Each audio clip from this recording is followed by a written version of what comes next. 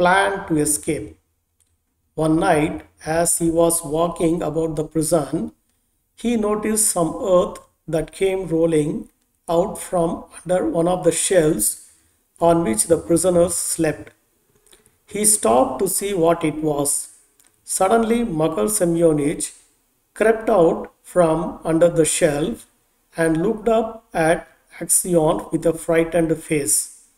Aksionov tried to pass without looking at him, but Makar seized his hand and told him that he had dug a hole under the wall, getting rid of the earth by putting it into his high boots and emptying it out every day on the road when the prisoners were driven to their work.